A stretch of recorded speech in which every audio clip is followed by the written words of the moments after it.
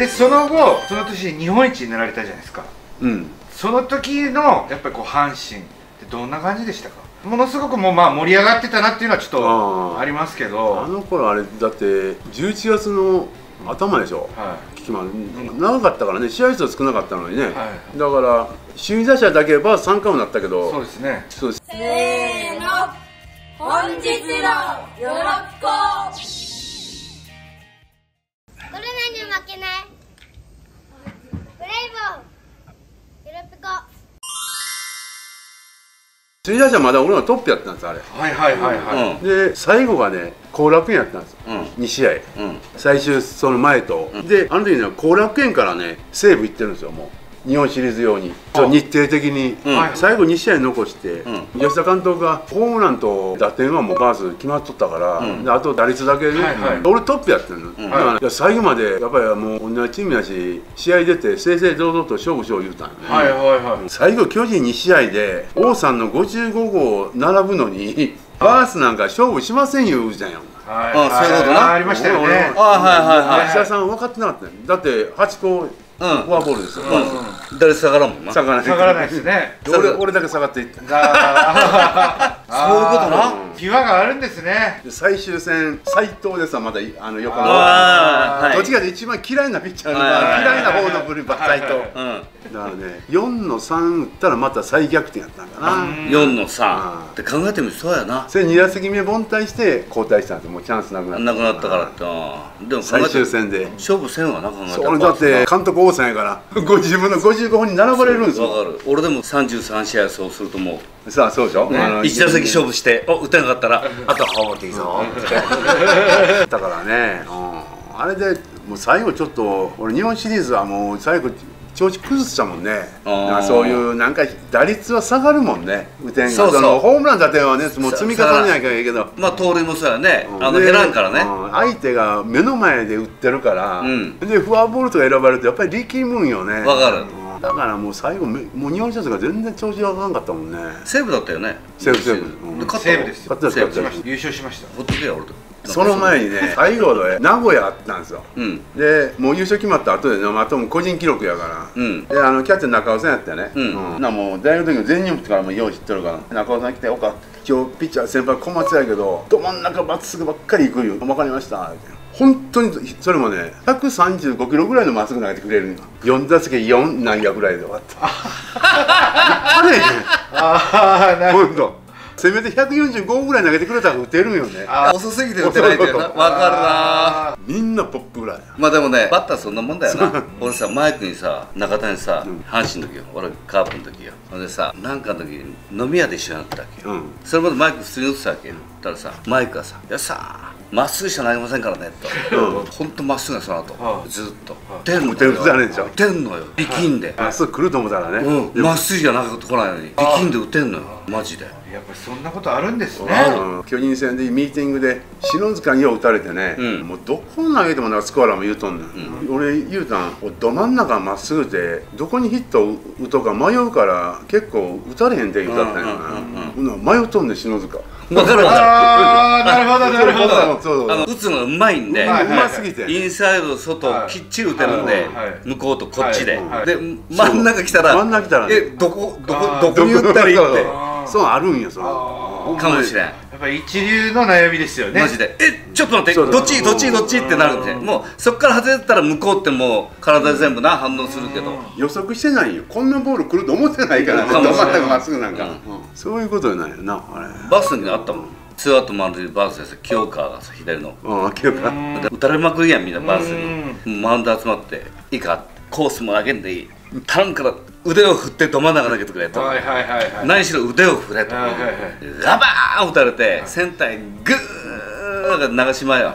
グーッバックしてってフェンスこんななって、はい。ここでパチッとったもんね、えー。やっぱね腕を振った分だけミスあってる。ーそうですね。うん。あれがコーナー狙ったらホームラン打たれてるのなああ逆にですね。逆に。いやだからインコースとかアウトコース結構張ったりするけど真ん中張れへんもんね。うーん腹んんまあ大体こっち系向こう系って真ん中来ないと思ってるから。ボール2になっても真ん中の剣も思うもんねやっぱり。大体こうインサイド系とかそっちを狙うよね。プロはそうですよねうん。一流なんで。真ん中はね。真ん中っていう球はほとんどないっすよね。パレーグ行った後よね。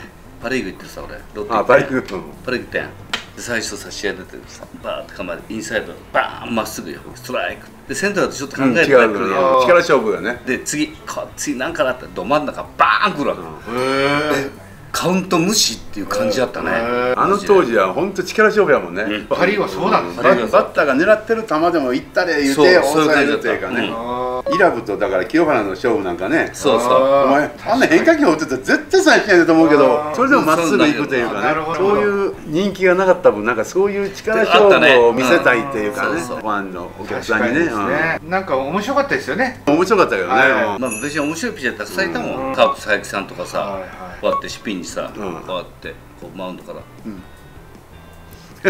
うやってやるわけシュートってこうやって、こうやってやるわけよ。でスライダーよ。スピンこんななってるわけよ。であとこうやってさグーッとグラブからさグーッと手上がってくる多くの人間こう見える でもバッターそれやられたらすっげえ嫌よな、ああ逆にですね。はいまっすぐとかやられたら、はいはいはい。勘弁してくれるって何も言わんで投げてってなる。集中したいですよね。昔のキャッチャーはしかしよう教え教えてくれたりなんか駆け引きあったもんね。あった。今はんまり。駆け引きあったね。うん今はなんかそんなんないような気するな。まあいろんなことあって審判もいろんなことあったからな。さあありますよね。ほんとたまげることはたくさんあったもんな、市川がキャッチャーしてる時なんかね一回あの池内さんがうん。太陽行ったんですよ、うんうん。で池内さんが当たって後ろが見とって分かるじゃないですか、うん。まあ、岡田1球目インコースシュートいきますから投げた瞬間に一歩引いてくださいとかね。ちゃんとここに来るんよボールが。へオッケーオッケーとか まあ池内さんはやばかったもんな。セカンドから見てた同じような感覚よね。ほんまマジでやばかった。もうシュートスライダーしかないんで。ほら衣笠さんにぶつけて金さんが。あの日やったな。アニヤさんから電話かかってきたわ。ぶつかったやんアニヤさんが、うん。池内さんに電話して「今日は広島の街には出るな」って。電話かかってきたアニヤさんが。ほんまであれで乱闘になったからそう。今さ日は部屋でおとなしい まあでもほんマジでえぐいシュートは投げてたよね平気で。うんでも面白い時代ですよね。面白い時代。今ほら乱闘もないしな。今もなでも阪神と乱闘したことないよな。カー。ああないかね、プないよ。記憶にないもん。あそうですか。だって阪神とまあ、乱闘したら。ー中日だけやからね大体な。そうで 中日でしょ。阪神と乱闘がない。あの池内さんの時ぐらいね。そのぐらいよね。あとは？乱闘いてもあれは池内さんがずっと逃げとってなんかどっか行ったもんな。分からへんだベンチベンチに逃げたんか。ベンチに逃げたんかな。中日はね結構ねまあやっとったね。それであれ優勝の時ね広島でねもうえいつやったかな？4月か5月ぐらいねサイン見とったんよ。広島の三村さんですサードコーチャー、で阪神一夜さんですよ、ん。一緒のサインやった85年。そう本当一緒のサイン。三村さんと一江さんのサインが一緒のサイン。キーとかそのあれが。あ。俺三村さんのサイン見とってあこれバントやな阪神やったらと思ったら、バントなん広島ええと思ってほんま一緒のサイン。え。なんでやろ？いやそれはーたまたまかぶったじゃない10 12人しかサイン出す12人がプロ野球で、たまにあるじゃないですかやっぱり重なるのが。ああまあね。一緒のサインやった。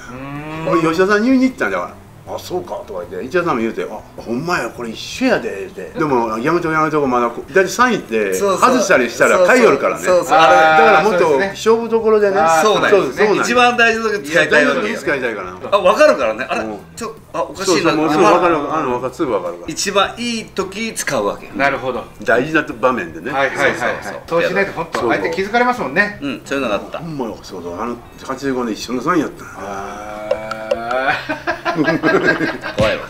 サインが一緒の珍しいけどね。珍しいがまあ大体癖みたいなのあるんかな。サイン出すのなんかね。大体遠場火になるもんね。触れやすいとこでこう最終的に触りやすいとこで行くんで可能性あるよね。なんとなくその癖が出るっていうかね、うん。長いことやってると。ー出ますよね。面白かっいっぱいいろんな話聞かせていただいて。たいろんなね勉強になった俺も。でバットバット。言っていい今頃遅いけど。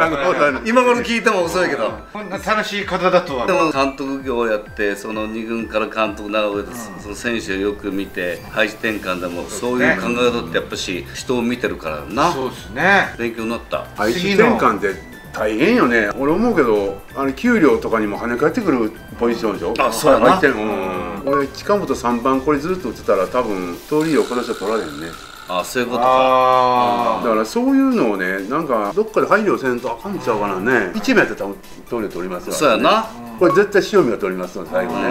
全く違うところやったね3番はね。例えばタイトルとかね、いろんなその前からボーナスみたいなねそうだね。だんだん最終展開によって全然変わってくるからね、でも球団が見てくれやけどな。見てくれたらいいんだけどね。3番入れたけど盗塁はそうそう。うん。そういう形でそういう保証するからとかな。いじゃないと3番入ったボーナスがないからね。そうないでもねですよね。だよね打点王がなんか取れば別だけどまあまなあ確かにそうですけど。トリオの方が近いですよね、うんっていう感じで、うん。いやすごい。岡田さんはうん。来年を見据えられてるんですよ。その時に もし監督になった場合うちの高橋義彦来年どうお願いしますっていう感じで。あ岡何でもするから。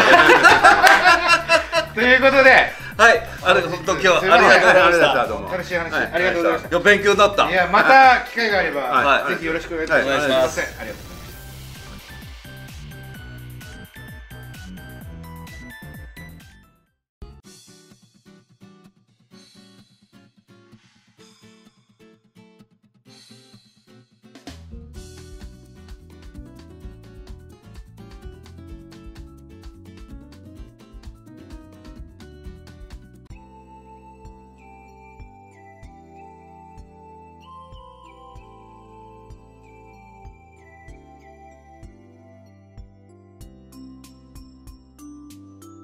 明日もまた見てください、えーチャンネル登録といいねをよろしくお願いします。